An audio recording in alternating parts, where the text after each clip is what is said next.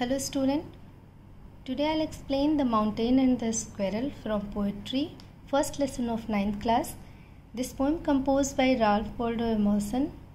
At first I'll brief about the poem and I'll explain line by line in Hindi. Let's start. About the poem. This poem is a dialogue between a mountain and a squirrel यानी कि जो ये poem है ये एक conversation है एक बातचीत है माउंटेन एंड स्क्वेरल माउंटेन यानी पर्वत स्क्वेरल यानी गिलहरी. यानी कि गिलहरी और पर्वत के बीच में एक कन्वर्सेशन हुआ है.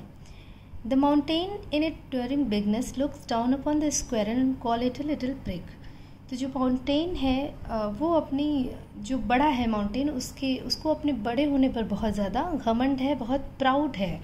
तो वो जब गिलहरी को देखता है तो बहुत वो छोटी है कद में छोटी है तो उसे, उसके ऊपर वो कमेंट करता है और उसे लिटिल प्रिक कह के पुकारता है। तो लिटिल प्रिक मीन्स तुच्छ, बहुत छोटी। तो वो उसको इस तरह से पुकारता है। The squirrel justify it existent existence means अस्तित्व। तो जो स्क्वायरल है, वो अपने अस्तित्व को जस्टिफाई करती है।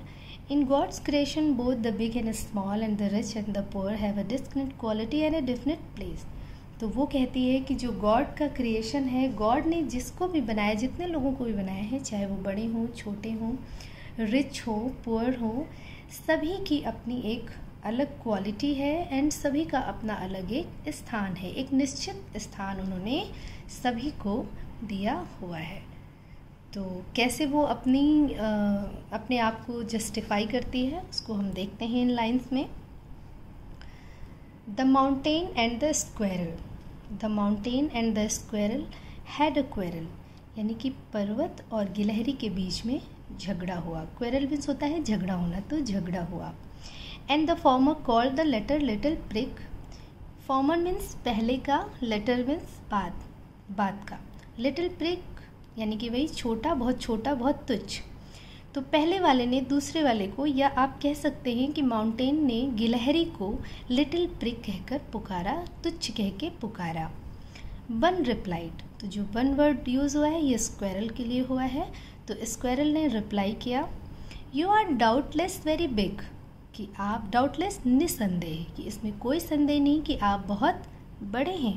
But all sorts of things and weather must be taken in together to make a year and a sphere कहती है कि इसमें कोई संदेह नहीं है कि आप बड़े हैं, लेकिन इस दुनिया में जितनी भी छोटी से छोटी चीज़ें हैं एंड वेदर और जितने भी मौसम हैं, चाहे वो समर हो विंटर हो ऑटम हो स्प्रिंग हो, जितने भी मौसम हैं, जब वो साथ साथ होते हैं टुगेदर मीन साथ साथ होते हैं to make up a year तो एक साल बनाते हैं एंड अ स्पेयर और एक स्पेयर बनाते हैं, ब्रह्मांड बनाते हैं, इस पूरी दुनिया को आप कह सकते हैं, बनाते हैं।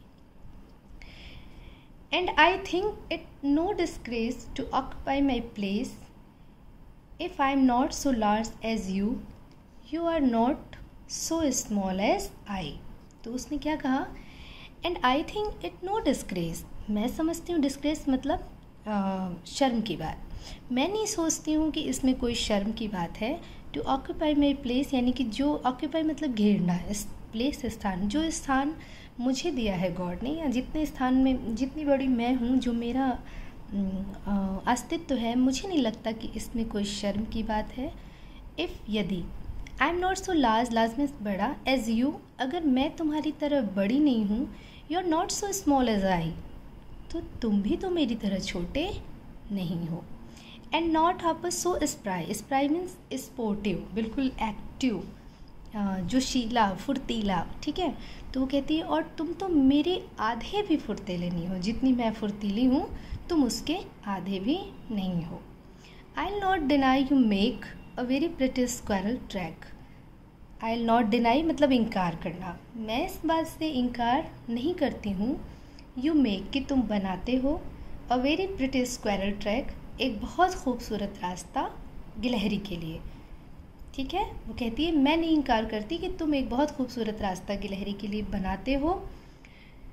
टैलेंट्स डिफ़र लेकिन उसने कहा कि जो योग्यताएँ हैं, वो अलग अलग हैं। जो एबिलिटीज़ हैं, वो डिफरेंट डिफरेंट हैं। सबकी क्वालिटीज़ अलग हैं। ऑल इज़ वेल सब कुछ बहुत अच्छा है। एंड वाइजली पुट तो अगर मैं बुद्धिमानी के साथ कहूँ तो सारी ही चीज़ें जो इस संसार में हैं, वो बहुत ही वाइजली प्लेस्ड की गई हैं। If I can't carry forest on my back carry मतलब ले जाना फॉरेस्ट मीन्स जंगल बैग मीन्स बैग पे, पीठ पे. तो if I can't carry forest on my back अगर मैं अपनी पीठ पर जंगल को नहीं ले जा सकती neither can you crack a nut तो तुम भी नीदर मतलब ना तो क्रेक मतलब क्रेक तोड़ना नट अखरोट. तो तुम भी मेरी तरह अखरोट को नहीं तोड़ सकते. ओके? तो इस तरीके से गिलहरी ने अपने एग्जिस्टेंस मतलब जो उसका प्लेस है इस वर्ड में, जो गॉड ने उसको प्लेस दिया है, उसको उसने जस्टिफाई किया माउंटेन के सामने और उसने बताया कि मतलब जो इस लेसन से मोरल आता है वो ये कि किसी को भी ना डिस्करेज नहीं करना चाहिए या किसी को भी इंसल्ट नहीं करना चाहिए, क्योंकि गॉड ने जितने लोगों को इस संसार को बनाया है और इस संसार में जो भी चीज़ें हैं, चाहे वो छोटी हों, चाहे बड़ी हों, अमीर हो, गरीब हो, सारे ही लोगों की वैल्यू है, सबका अपना अपना अलग स्थान है और अपनी अपनी योग्यताएँ हैं सबके अंदर। तो इसलिए किसी को भी इंसल्ट नहीं करना चाहिए, सभी को रिस्पेक्ट करना चाहिए। ओके तो गिलहरी ने इस बात को इसमें जस्ट क्लियर किया है कि जो उसका प्लेस है, वो उससे बिल्कुल भी बिल्कुल भी नहीं समझती कि उसमें कोई अपमान की बात है, वो बहुत खुश है अपनी अस्तित्व से। ओके, स्टूडेंट तो होप कि लाइंस आपको क्लियर हुई होंगी, ये कॉन्वर्सेशन आपको समझ में आया होगा बट कोई भी प्रॉब्लम होती है तो you can comment me and you can ask me okay next chapter के साथ मैं फिर आती हूँ। Till then goodbye and take care